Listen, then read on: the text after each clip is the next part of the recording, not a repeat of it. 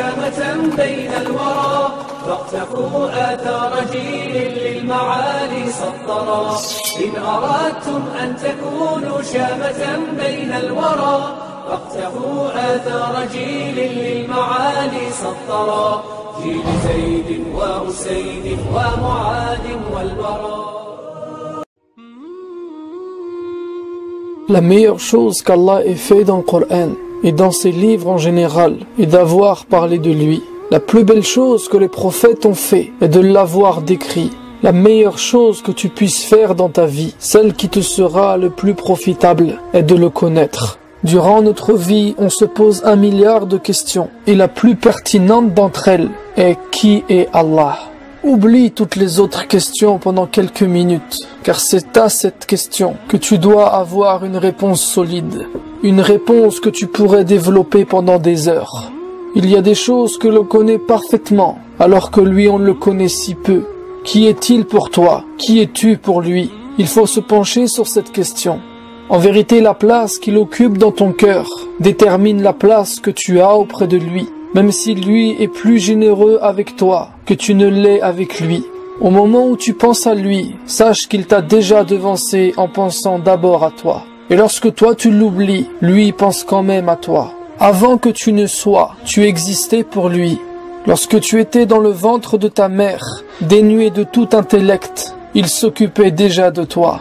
Durant toute ton enfance, il a veillé sur toi et sur ton bien-être. Tu ne sais pas le nombre de choses qu'il a fait pour toi durant cette période, le nombre de fois qu'il t'a sauvé la vie. Tu ne t'en rends même pas compte, car tu ne l'as pas vu, le nombre de fois qu'il t'a aidé, le nombre d'anges à qui il a ordonné de te protéger lorsque tu apprenais à marcher, lorsque tu découvrais la vie dans ce monde. Et encore aujourd'hui, lorsque tu dors, que tu es inconscient, que tu es insouciant de ton propre cas, c'est lui qui s'occupe encore de toi. Il est avec toi comme si tu es le seul qui existait pour lui. Et tout ce qu'il fait pour toi, sache qu'il est ainsi avec toute l'humanité. Il est sans cesse au service de ses créatures. Il a apporté à chacun d'entre nous la nourriture dont nous avions besoin au moment où nous étions encore un fœtus. Il nous ramenait notre subsistance dans le ventre de notre mère, dans un endroit clos où personne ne pouvait accéder. Et lorsque nous sommes nés, nous ne connaissons absolument rien. Et c'est lui qui nous a appris les bases. Qui a appris à un nourrisson à téter? Qui lui a appris à pleurer pour demander? Si cela ne dépendait uniquement de toi, tu n'aurais pu ni vivre ni survivre. Lui seul a un pouvoir infini sur toute chose. Tu étais un morceau de chair, et il t'a façonné. Il n'a cessé de te concevoir jusqu'à ce qu'il t'ait insufflé ton âme. De quelle manière remercier celui qui t'a fait tant de bien? Il t'a comblé de tellement de bienfaits, tu ne pourras jamais ni les dénombrer, ni le remercier suffisamment. C'est lui l'origine du miracle de la vie, l'origine de ce qu'on appelle les miracles scientifiques. Il n'y a aucune difficulté, aucune complexité pour lui. Ce qui te fascine est pour lui facile. Ce qu'il fait est inégalable. Lui seul est capable de faire ce qu'il fait. Il ne nous a pas créés pour que nous l'aidions à faire ce qu'il n'arrive pas.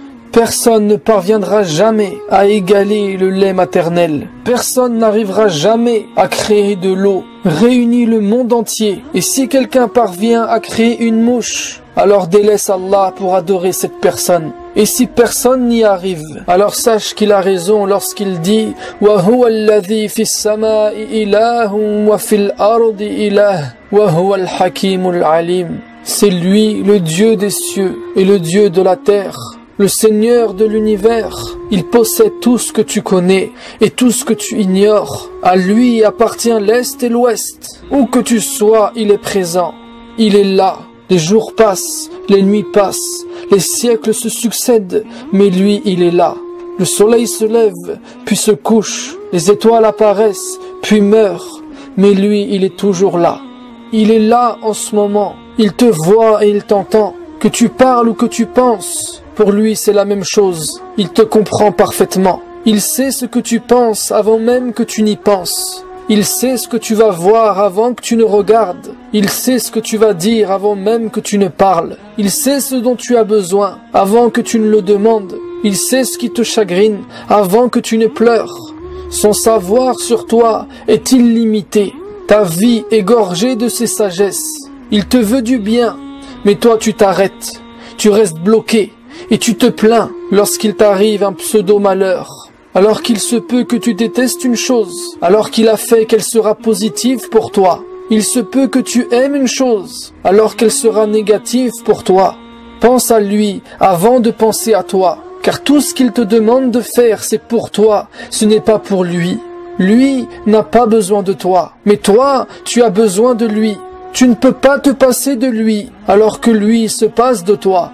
Il est le premier sans début, il était le seul et l'unique, et il l'est toujours. Et sache que si tu le renies, que tu l'oublies, ou que tu lui désobéis, cela ne diminue rien en lui, car en vérité tout ce qui est dans les cieux et sur la terre le glorifie, l'évoque sans que tu ne comprennes leur évocation.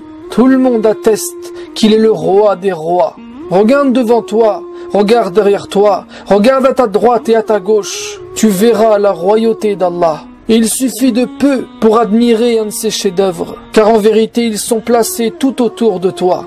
Regarde de quelle manière a-t-il créé la grenade, en agençant des graines translucides une par une, en les enveloppant dans une peau douce, en emballant et en colorant le tout, et en y ajoutant du goût. Qui est capable de faire de telles choses? Lorsqu'Allah crée une grenade, il émerveille. Lorsque l'être humain fabrique une grenade, c'est pour tuer, détruire et prendre le pouvoir. Son pouvoir, lui, il ne le perd jamais. Cite-moi l'œuvre d'une seule personne qui a mis d'accord tout le monde. La seule que tu pourras me citer est celle d'Allah.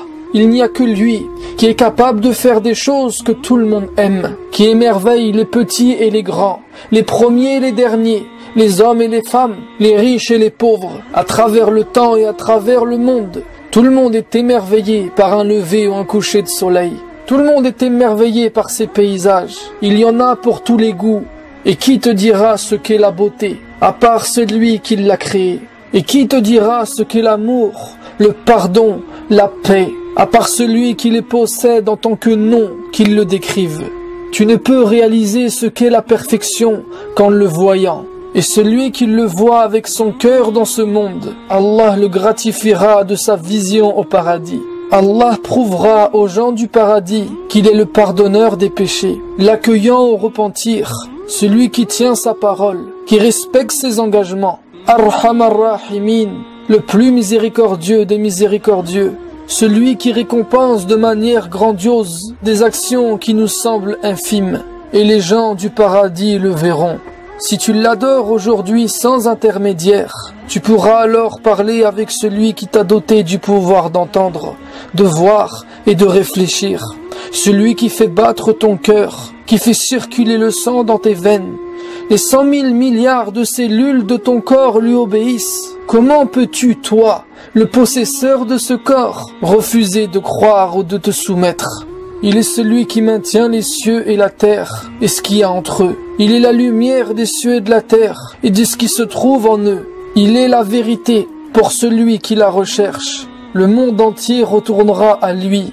Il est le seul digne d'adoration, celui qui mérite ta confiance, celui vers qui tu devrais te tourner pour n'importe quelle affaire. Implore-le aujourd'hui, comme tu seras présenté devant lui pour être jugé demain. Demande-lui, il guidera ton cœur. Demande-lui, il facilitera ta tâche, il dissipera tes inquiétudes, il t'élèvera à un rang supérieur, il t'accordera l'honneur de ce monde et la fierté dans l'au-delà. Ne l'oublie pas, lui, qui prend soin de tes affaires en ton absence. Ne l'oublie pas, lui, même si ton regard ne peut l'atteindre et que ton esprit ne peut le concevoir. Il est comme il s'est décrit lui-même, et les éloges qu'on lui fait ne seront jamais assez.